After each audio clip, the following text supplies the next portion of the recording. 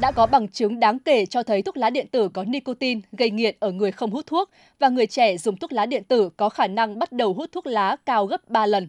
Cục trưởng Cục Quản lý Khám chữa bệnh Bộ Y tế nhấn mạnh, không có một sản phẩm thuốc lá nào an toàn cho sức khỏe và thống nhất phương án sẽ đề xuất Quốc hội kịp thời ban hành quy định để cấm toàn diện các sản phẩm này trước khi việc sử dụng trở nên phổ biến hơn, bao gồm cấm sản xuất, kinh doanh, nhập khẩu, quảng cáo, sử dụng các sản phẩm thuốc lá điện tử và thuốc lá nung nóng.